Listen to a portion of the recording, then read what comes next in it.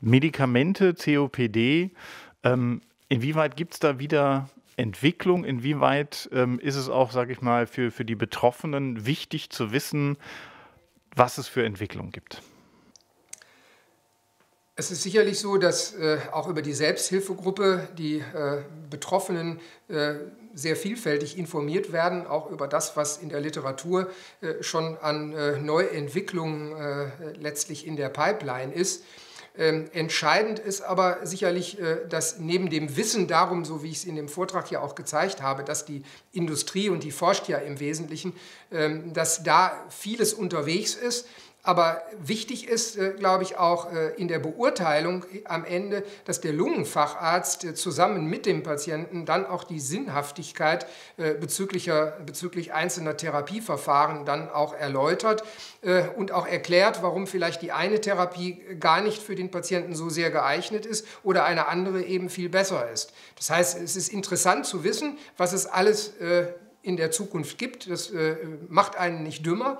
Aber entscheidend ist, dass der Lungenfacharzt um die genauen Einsatzbereiche dieser Medikamente äh, informiert ist, Bescheid weiß und das äh, individuell genau anpassen kann. Das ist aus meiner Sicht wichtig, dass also der Lungenfacharzt auf dem äh, neuesten Stand auch dieser Entwicklungen ist. Ähm, weil, äh, wie Sie gesehen haben, es gibt viele Medikamente, die auch in den Studien sind. Und wir wissen aus der Industrie, dass äh, häufig auch viele Dinge, die erst verheißungsvoll waren, am Ende dann doch nicht in den klinischen Einsatz gekommen sind, weil plötzlich doch Nebenwirkungen aufgetreten sind und äh, gerade in den Studien dann äh, sich gezeigt hat, dass die Präparate doch nicht so geeignet gewesen sind. Obwohl das Wirkprofil vielleicht für die Bronchien gut war, aber die Nebenwirkungen einfach nicht äh, äh toleriert werden konnten.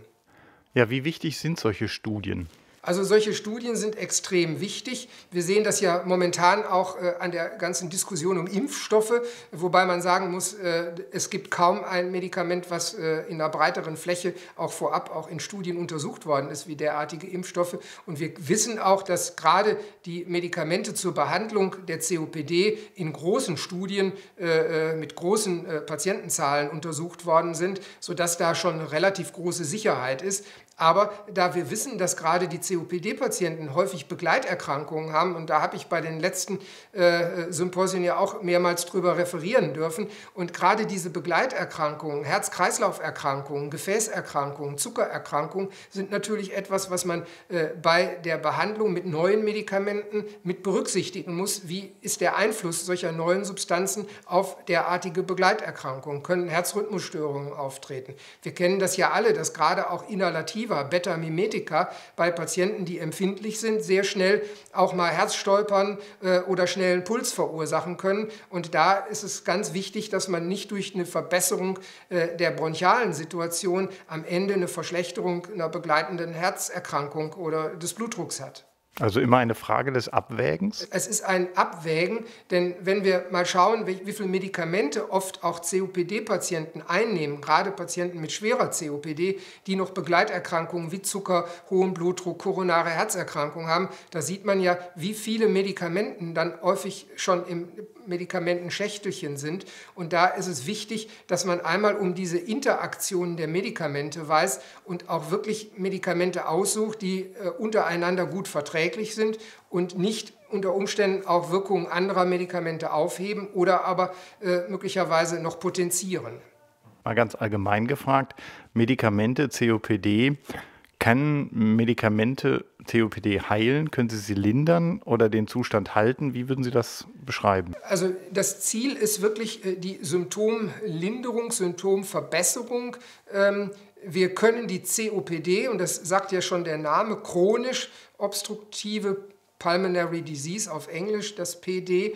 Ähm, es ist eine chronische Erkrankung, eine chronische Entzündung und äh, bislang können wir das, was quasi durch die chronische Entzündung ausgelöst worden ist, nämlich die Verengung der Bronchien, die Entzündung der Bronchien, können wir mit den Medikamenten versuchen zu beeinflussen, dass wir das Ausmaß mildern, aber wir können bislang nicht diese COPD als chronische Erkrankung quasi stoppen, so wie wir ein Feuer komplett löschen können, sondern es schwelt immer irgendwie weiter und wir müssen immer aufpassen, dass aus diesem Schwelbrand nicht wieder ein akuter, lodernder Brand wird. Und das ist bei der COPD wichtig, weil immer wieder, wenn die COPD aufflackert, dann kommt es zu einer Verschlechterung auch des Krankheitsverlaufs und der Prognose. Also das heißt, momentan bewegen wir uns immer noch in einer Situation, Situation, wo wir versuchen, diese chronische Erkrankung in Schranken zu halten und da, wo noch Entzündung ist, die man beeinflussen kann, diese zu reduzieren. Aber wir bekommen es nicht ganz weg. Und das Ziel der Forschung ist sicherlich, äh, da anzusetzen, dass wir einen Punkt finden, wo können wir diesen Entzündungsprozess und den Alterungsprozess, der durch die Entzündung auch bewirkt wird, zum Stoppen bringen. Aber das ist noch ein bisschen Zukunftsmusik. Mhm. Wie konkret, wenn, wir, wenn Sie von Zukunftsmusik sprechen, wie konkret sind denn da äh, Forschungen, dass man da vielleicht auch ein bisschen Hoffnung haben kann?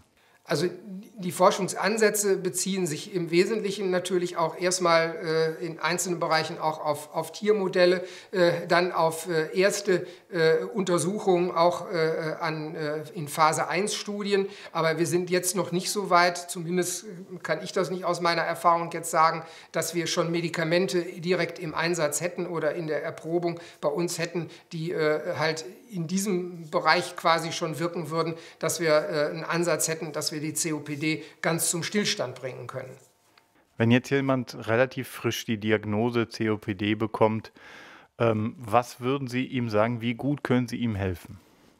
Also wir können ihm gut helfen dadurch, dass wir nicht nur äh, seine äh, Symptome als solches sehen und ihm ein Inhalativum verschreiben, sondern COPD-Behandlung bedeutet umfassende Behandlung, nämlich auch unter Umständen Lebensstiländerung, äh, auch eine gewisse Änderung der Ernährung, dass man Gewicht abnimmt, weil man weiß, mit Übergewicht ist es eher ungünstig, auch für die Atemsituation. Wir müssen sehen, dass wir Bewegungstherapie mit hineinbringen und dadurch die Patienten zu mehr Aktivität bringen, dass sie keinen Muskelverlust haben. Das sind alles Dinge, die in diese Behandlung mit einfließen und deshalb ist ja auch gerade in den internationalen, auch nationalen Empfehlungen die erste Stufe Stufe der COPD-Behandlung immer gekoppelt und auch die weiteren Stufen immer mit einer äh, äh, rehabilitativen Therapie, mit einer Bewegungstherapie, dass wir den Patienten sagen, sie sollen einer Lungensportgruppe sich anschließen, damit all diese Dinge sinnvoll kombiniert behandelt werden.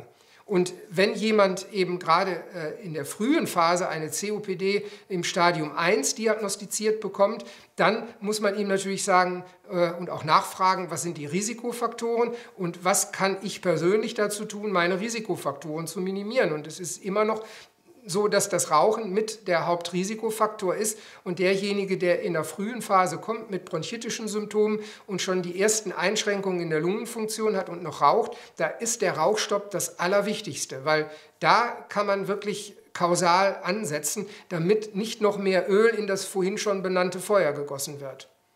Ja, wie schätzen Sie das ein? Wie ist die Möglichkeit, mich zu informieren. Sie haben es ja auch in Ihrem Vortrag genannt. Es gibt die Atemliga, ähm, es gibt äh, ähm, Selbsthilfegruppen. Wie gut kann ich mich informieren?